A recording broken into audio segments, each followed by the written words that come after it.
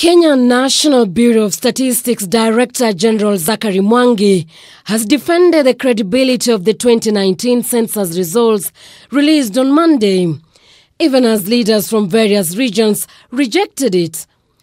During a media briefing on Thursday, Mwangi explained that the agency counted people where they found them on the census night and not based on the regions, counties, or constituencies. Census was on a de facto basis that we counted people where we found them, not where they usually live. The DG said he will be engaging with leaders to explain to them how the results came about, adding that population growth or decline is determined by fertility, mortality, and immigration. Issues to do with data protection, data privacy, issues to do with confidentiality, all those would be taken into consideration.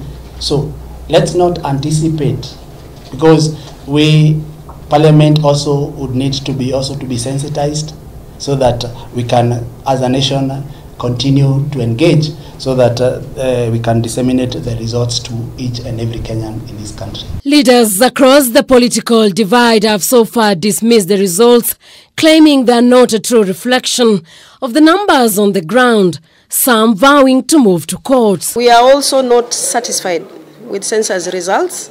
That is number one because of logistics issues, uh, most of our people in the county were not enumerated. The Kenya National Bureau of Statistics is set to release a detailed thematic report explaining how migration, mortality, and fertility have affected populated areas across the country. Urge the public also to also to give the bureau a bit of more time so that we can also generate the other additional reports, uh, which would help you better explain the changes that are being observed in uh, these census results. The breakdown of data up to the sub-location level, as well as age and sex, will also be captured in the detailed report.